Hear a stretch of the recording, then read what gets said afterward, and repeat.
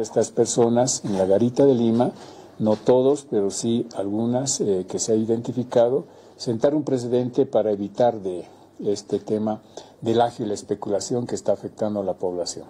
¿De cuántas personas hablamos? Eh? Son 13 personas que han sido identificadas, que ahí son conocidas como mayoristas, quienes no han respetado el acuerdo que tenían con el gobierno de eh, recibir a 16.60 el kilo y vender máximo en 18.50. Eh, hemos eh, desplazado nuestro personal, quienes se han hecho pasar de consumidores normales y a quienes les han vendido en un caso en 20 bolivianos y en otros dos casos en 22 bolivianos. Entonces, contra estas personas vamos a presentar la denuncia ante el Ministerio Público y ojalá que la Fiscalía pueda eh, continuar con la investigación y pueda sancionarse a estas personas que lamentablemente, reitero, se están aprovechando de, este momento coyuntural político eh, debido al bloqueo y están generando eh, ingresos millonarios a costa de la población boliviana. Es el agio, el agio es el incremento del precio no autorizado. El precio autorizado para la venta de este producto que estamos trayendo a través del transporte era aéreo era máximo 18.50 bolivianos. Ese era el acuerdo. Han vendido en 20, en 22 bolivianos, eso es ágil. Y especulación también se ha podido corroborar porque gran cantidad de este producto que se trajo por eh, transporte aéreo ya estaban en cajas para eh, distribuir 20, 30, 50 cajas a los otros intermediarios, es decir, la venta al público, que es lo que se había acordado, también no fue cumplido por parte de algunos mayoristas. ¿Cuál sería la sanción? Sí, la eh, eh, el ágil y la especulación eh, son pues dos fuentes principales de las ganancias ilícitas. Ellos están ganando miles, millones de bolivianos por una actividad ilícita, que es el agio y la especulación.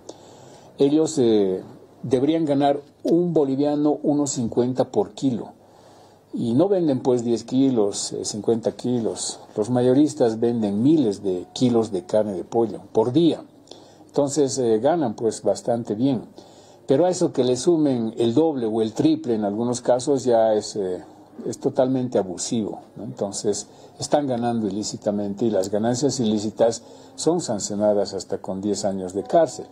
Pero eso va a depender mucho, reitero, de la Fiscalía, del Ministerio Público que abra la investigación contra estas personas y sancione como determina la norma, porque de nada va a servir que nosotros hagamos operativos, que traigamos vía transporte aéreo el pollo, etcétera, si es que cuando alguien no cumple o infringe o comete el delito, eh, menos que cante el gallo, como quien diría, los vuelven a soltar y nuevamente al día siguiente los vemos en sus mismas tiendas cometiendo el mismo delito.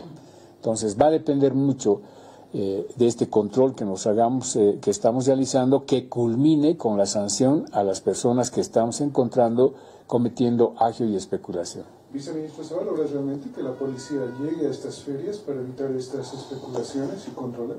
Sí, nosotros fuimos eh, a estos establecimientos la anterior semana con la alcaldía, con la policía, la Fuerza Especial de Lucha contra el Crimen y salieron los dirigentes y pidieron mi renuncia porque dice que estamos militarizando y estamos haciendo persecución y que en las dictaduras solamente se ha visto a la policía y al ejército realizando este control. O sea, no quieren controles, no quieren que la policía salga a controlar, que el ejército nos apoye, eh, porque quieren pues eh, no tener ningún control y lógicamente seguir eh, metiéndole la mano al consumidor. Pero bueno, no vamos a ceder ante estas presiones de, este, de estos sectores y vamos a pedir que la policía y también el ejército nos acompañe en esta tarea. Ya estamos cerca de Todos Santos, mucha gente vive del movimiento, sobre todo empresas y productores de flores, en este caso de bananos que están echando a la carretera, de, la producción porque no pueden sacar. ¿Qué hacer, dado que algunos sectores están pidiendo a la militarización del Chaparre para dar una solución y no haya mayores pérdidas económicas con lo que viene Todos Santos? Sí, lamentablemente estamos sufriendo un autobloqueo, ¿no? Por aquellos eh, que han impulsado y han sido parte de la construcción del Estado plurinacional, del proceso de cambio, aquellos que en su momento levantaron la bandera de, eh, del modelo económico, de la nacionalización, de la industrialización, del Sí, aquellos que impulsaron la construcción de este Estado, que fueron parte del proceso de cambio, son los que lamentablemente hoy están poniendo en riesgo, en vilo, el Estado plurinacional, el proceso de cambio, la revolución democrática cultural, al atentar contra eh, el corazón del proceso de cambio que es el modelo económico. Este bloqueo inhumano que se ha implementado hace varios días en nuestro país está atacando el modelo económico y está poniendo en, en vilo a, a, todo el aparato productivo de nuestro país, en especial los pequeños productores, ¿no? que hoy se ven enormemente golpeados por este bloqueo porque pierden gran parte de su capital, gran parte de su patrimonio, la producción que han trabajado durante meses, porque no es pues eh, eh, sembrar, eh, poner la semillita y al día siguiente ir a cosechar.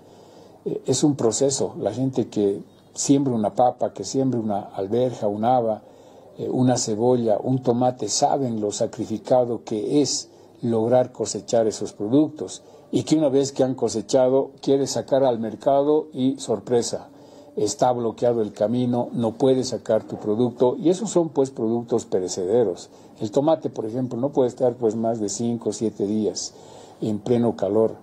La carne de pollo no puede estar varado.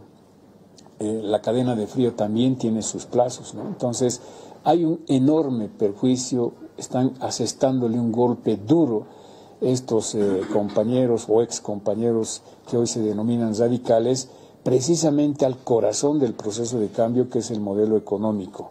Quieren hacer fracasar el modelo económico y, están perjudicando a nuestros compañeros productores que hoy están muy preocupados.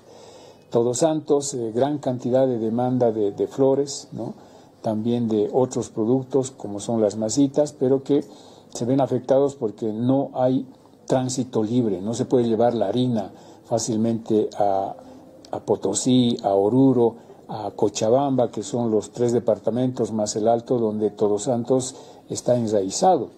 Ya hemos recibido llamadas de diferentes lugares eh, de Potosí, por ejemplo, que nos hacen conocer su preocupación porque no está pudiendo llegar la harina y no van a poder hacer pan para Todos Santos, ¿no? o la levadura y la manteca, que tienen que también transitarse o llevarse a través de eh, transporte terrestre. Eh, y lo propio ocurre con Cochabamba, donde todos sabemos está totalmente cercado.